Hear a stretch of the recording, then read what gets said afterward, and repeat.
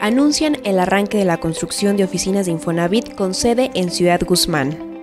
El presidente municipal de Zapotlán el Grande, Juan Manuel Figueroa Barajas, detalló que en los próximos días comenzará la edificación de 600 metros cuadrados que se convertirán en sede regional de oficinas de Infonavit ubicadas por la avenida Pedro Ramírez Vázquez, a un costado del Centro para la Cultura y las Artes José Rolón. El primer edil detalló que estas oficinas brindarán servicio a 23 municipios de la región, lo que permitirá que la asesoría y trámites referente al tema de vivienda tengan mayor agilidad. Alrededor de 23 municipios convergen en esta, en esta subdelegación y creo que esto facilitará muchísimo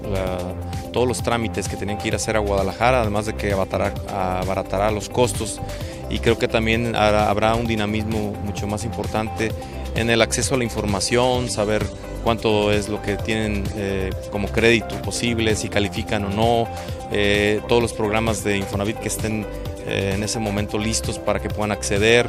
Hay miles de créditos autorizados, más de mil créditos autorizados de Infonavit hoy día que no se han podido entregar por esta tramitología que hay que cumplir. Entonces, creo que sin lugar a dudas una de las necesidades primordiales de Ciudad Guzmán era la vivienda y esta delegación pues viene a, cubrir esa necesidad y, a, agilizar toda este, esta tramitología. En el arranque de la obra estuvo presente el alcalde electo de Zapotlán, José de Jesús Guerrero Zúñiga, quien será el mandatario sucesor de dar continuidad al proyecto e inaugurar las nuevas instalaciones.